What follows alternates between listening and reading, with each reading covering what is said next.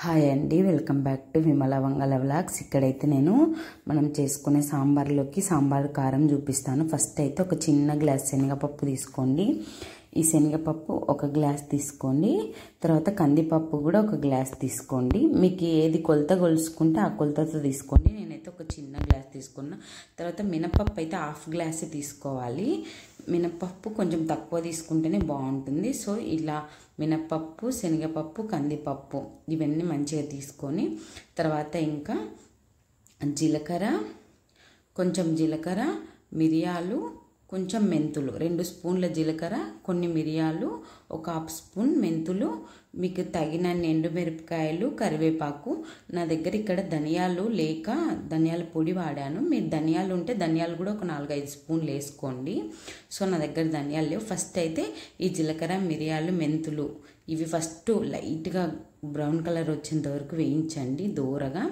ఇవి వేయిస్తుంటే మంచి స్మెల్ వస్తుంటుంది జీలకర్ర నుండి.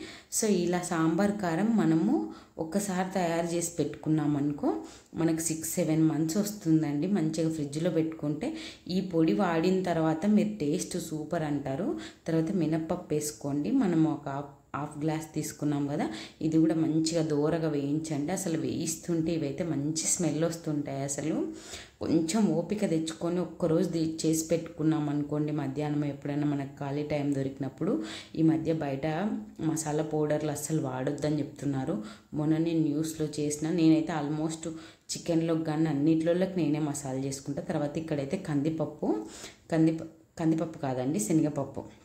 సో శనగపప్పు కూడా మంచిగా మాడనివ్వకండి అక్కడే దగ్గరుండి మంచిగా లైట్ బ్రౌన్ కలర్ లాగా కొంచెం దూరగా వేయి వేసి వేగుతూనే మంచి స్మెల్ వస్తుంది అసలు అవైతే.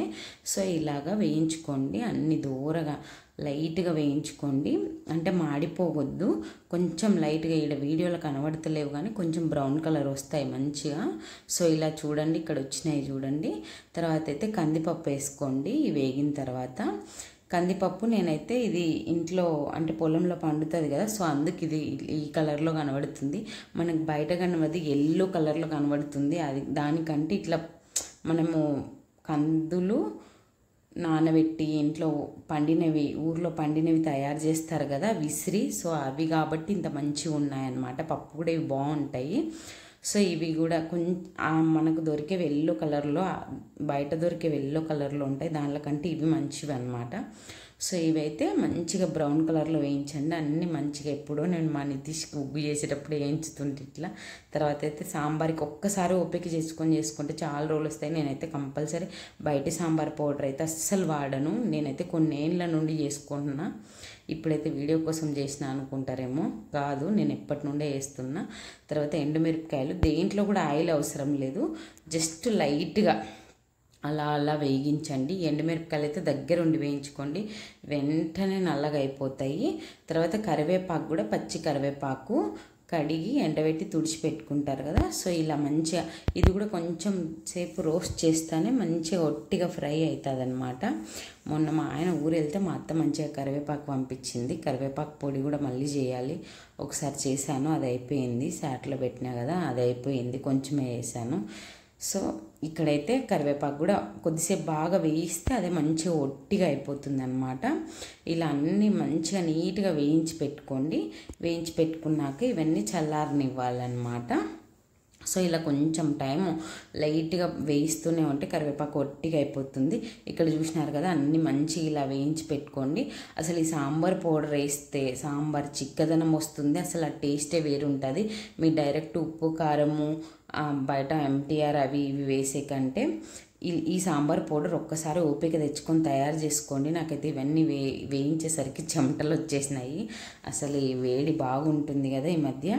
సో ఇవన్నీ మిక్సీ జార్లో చిన్న మిక్సీ జార్ ఉంటుంది కదా. ఫస్ట్ అయితే ఎండుమిరపకాయలు వేసుకోండి. ఎండుమిరపకాయలు అవి ఫస్ట్ ఎండుమిరపకాయలు అన్నిట్లో వేస్తే వేగవు కదా.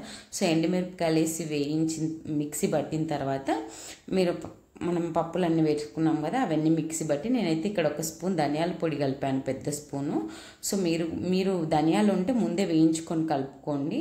సో ఇక్కడైతే సాంబార్ పౌడర్ రెడీ అయింది. నేను వీడియో కరెక్ట్గా తీసినట్లేని ఇది ఈ మధ్య స్టాండ్ లేక బాగా ఇబ్బంది అవుతుంది ఇది కరెక్ట్గా రా రాలేదు. నేను అడ్డంగా పెట్టి తీయలేదేమో ఇక్కడ.